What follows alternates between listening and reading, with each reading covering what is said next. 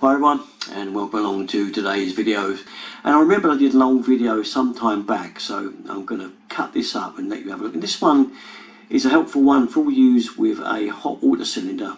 Yeah you know the old F&E system. No good for you combi boys I'm afraid. And this is one where I kind of stuck a 250 watt element for a radiator into a hot water tank. And the idea being that it kind of gently warms the water only uses 250 watts and what it does it kind of means that the actual heating whether it's a gas boiler or whether it's an immersion heater um, won't have so much hard work to do. The water will always be warm.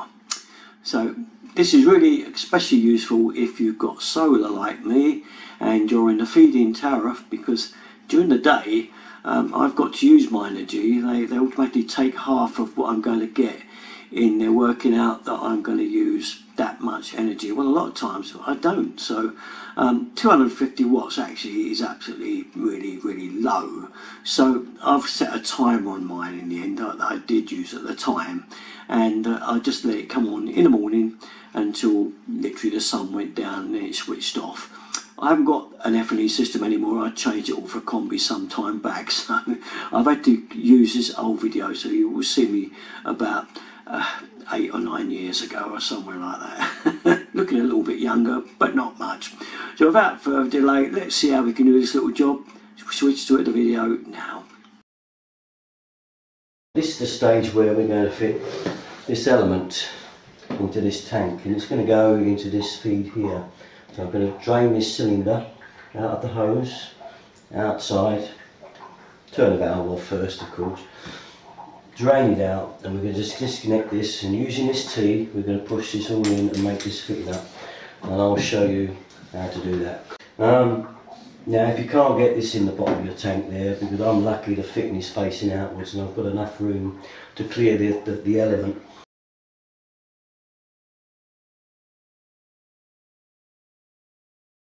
We're at the tricky part now where we undo the feed. Just going to out just so you can see you're going to get a little bit of water out of this feed so water's level to the bottom of there. We've took that way out and we're just unscrewing this one now. When we take this out in a minute I'll show you how that bit goes back into that tank. Now as you can see I've made the T-piece up. I've screwed the element in and there's the cable for it. It's going to go down under the floor for me because I've got a void that I can connect everything up to.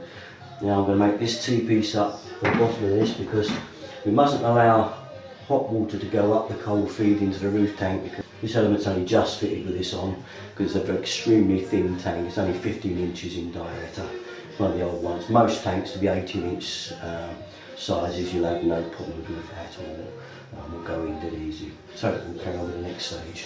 There is the finished article as it should look if you can get it into your cold feed the bottom of your storage tank.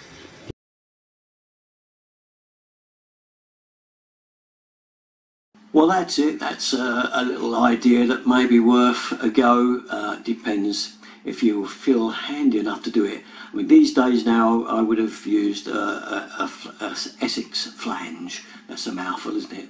it's called an Essex flange, and you drill a hole in the tank and put this thing in, uh, and then it would do the job for you. You know, at the end of the day, it it's not an easy job, but just another idea worth investigating. Okay, that's about it though. All my videos are going to go, usual place, Derek 33. Thanks for watching guys, bye bye.